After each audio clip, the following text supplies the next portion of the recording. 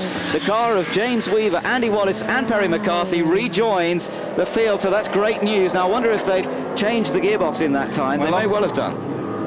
Oh, look Oh, at yes, this. That was Yes. a coming together there. That was a clear coming together. He touched on the back of the car, and that it, he, there was almost a nudge. He looked as if he was going to go sideways on the grass. Then we don't know what, quite what would have happened, but they definitely touched. And he's coming back, and it, it really is. It's uh, it's a sprint race. It's just who can get to the line. It's just amazing.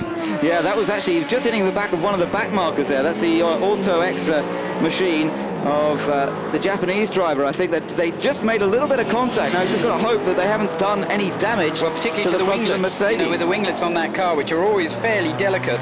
Um, we can see they're actually in, in, in place there, but the line of those, obviously, they would be uh, very uh, opposed to having those knocked off. Yeah, Yujiro Terada, Franck Fréon, and Robin Donovan. Let's take another look. here. you can just see that, that little bit of contact. Oh, not quite No, contact. oh, and I would have, no, lucky, very lucky, and also some tyre smoke, so I don't know whether a tiny flat spot, probably not enough to, to amount to that. And I can tell you now that that second Toyota is starting to attack. The man who lost out in that classic Le Mans situation that you were describing uh, before was clearly Martin Brundle. Dropped back a little bit. Measure of the speed he's got that he's attacking again. He's getting